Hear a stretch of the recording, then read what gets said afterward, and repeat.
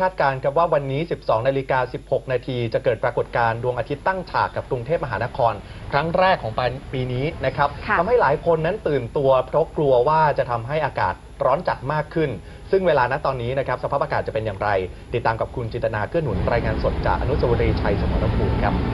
ค่ะคุณสุธิวัฒน์กุลลิตาคะขณะนี้นะคะที่ฉันยืนอยู่ที่บริเวณอนุสาวรีย์ชัยสมรภูมินะคะ ซึ่งช่วงเวลานี้นะคะ ใกล้ๆจะเป็นช่วงเวลาที่ดวงอาทิตย์นั้นตั้งฉากกับกรุงเทพมหานครพอดีนะคะ ในเวลา 12นาฬิกา16 นาทีค่ะ ซึ่งหมายถึงว่าดวงอาทิตย์นั้นจะอยู่ตรงกลางศีรษะของดิฉันพอดีนะคะ ซึ่งถ้าดวงอาทิตย์ส่องลงมาก็จะเห็นเงาของดิฉันอยู่บริเวณใต้เท้าของดิฉันนี้ค่ะ เช่นเดียวกับอนุสาวรีย์ชัยสมรภูมินะคะ ซึ่งวันนี้ก็มีภาพที่แปลกตาออกไปค่ะ เนื่องจากว่าดวงอาทิตย์นั้นได้อยู่ตรงเหนือยอดของอนุสาวรีย์นะคะทำให้เราไม่เห็นเงาของอนุสาวรีย์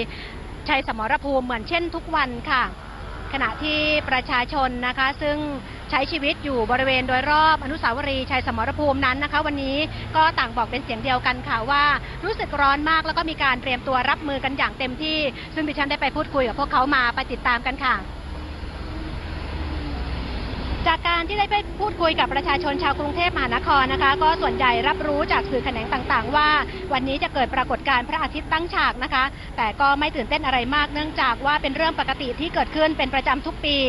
แต่ที่เฝ้าติดตามแล้วก็เป็นห่วงมากก็คือ เกรงว่าการที่ดวงอาทิตย์ส่องมายังกรุงเทพตรงๆ เต็มๆแบบนี้ จะทำให้อากาศที่ร้อนอยู่แล้วร้อนจัดขึ้นไปอีก วันนี้นะคะหลายคนทั้งพ่อค้าแม่ขายรวมถึงประชาชน ที่เดินทางมาใช้บริการรถโดยสารบริเวณอนุสาวรีย์ชัยสมรภูมิแห่งนี้ จึงเตรียมตัวพกร่ม แล้วก็อุปกรณ์คลายร้อนต่างๆ รับมือกันอย่างเต็มที่ค่ะ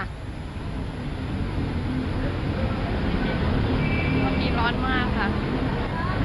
ร้อนจนทนไม่ได้ต้องไปยืมร่มรถตู้มากลาง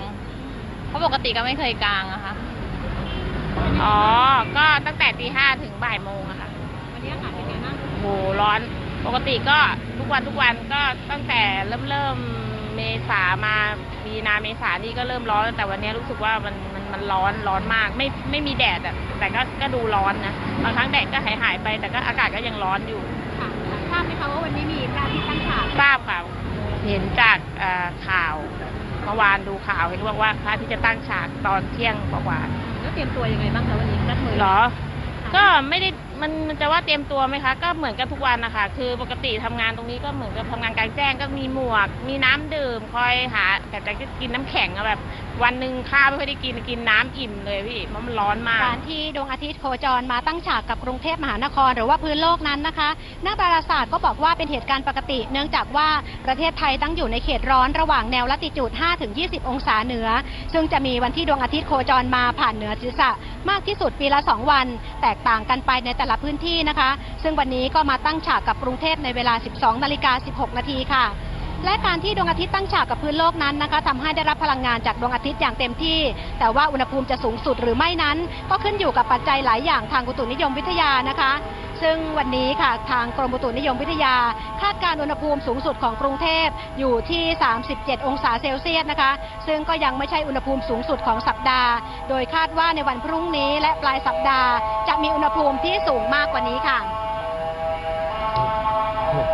และจากการตรวจสอบนะคะทาง แอปพลิเคชันของกรมอุตุนิยมวิทยานะคะ ก็ปรากฏว่าณขณะนี้นะคะ อุณหภูมิที่บริเวณอนุสาวรีย์ชัยสมรสมรภูมินั้นนะคะ อยู่ที่ประมาณ 33 องศาเซลเซียสค่ะ ซึ่งก็ไม่ใช่อุณหภูมิสูงสุดของวันนี้นะคะ อย่างที่บอกไปว่าสูงสุดจะอยู่ที่ประมาณ 37 องศาเซลเซียสนะคะ ประมาณช่วงบ่ายๆประมาณ 15 นาฬิกา 30 นาทีค่ะ แต่ว่า 33 องศาเซลเซียสกับสภาพแวดล้อมที่โล่งแบบนี้นะคะ ไม่ได้อยู่ในห้องปรับอากาศค่ะ รวมทั้งมีการจราจรที่หนาแน่นแล้วก็เป็นศูนย์รวมของการจราจรตลอดทั้งวันมีการปล่อยไอเสียต่อทั้งวันแบบนี้ 33 องศานั้นก็เหมือนอยู่ในตู้อบย่อมๆทีเดียวค่ะ โดยปรากฏการณ์ทางดวงอาทิตย์นั้นที่จะตั้งฉากกับกรุงเทพมหานครนะคะ ครั้งที่ 2 ของปีจะเกิดขึ้นอีกครั้งหนึ่ง ในวันที่ 16 สิงหาคมค่ะ คุณลลิตาคุณสุทธิวัฒน์คะค่ะ ขอบคุณนะครับ